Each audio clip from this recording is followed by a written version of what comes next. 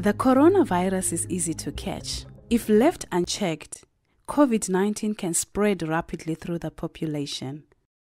Contact tracing identifies people who may have been in contact with an infected person. It helps to prevent those contacts from spreading the virus. A person with COVID 19 can infect other people two days before showing any symptoms of the disease and then remain infectious for 14 days after any symptoms appear. Some people may not show any symptoms but still be infectious over the same period. Amara is a contact tracer. She has been trained by her local health authority.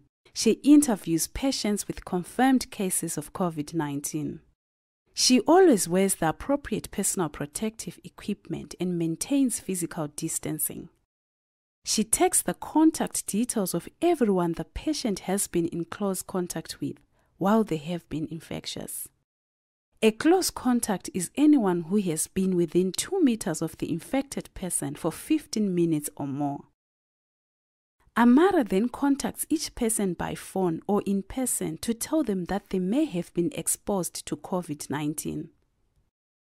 She tells them that they will need to self quarantine for 14 days to prevent the spread of the disease in case they are infected. To protect patient confidentiality and to avoid any blame within their community, Amara doesn't tell the contact the identity of the suspected or confirmed case they have come into contact with. Amara tells the contact to get in touch with their local health authority and follow their instructions if they develop any of the symptoms of COVID 19.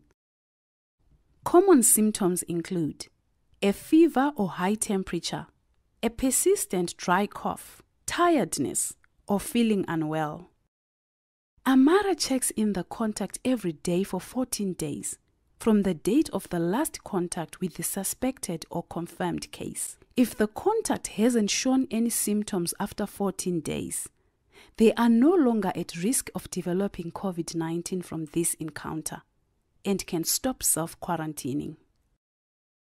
However, it is important that they continue to protect themselves and their community by washing their hands with soap and water for at least 20 seconds, maintaining physical distancing of 1 to 2 meters, and wearing a mask in public if required.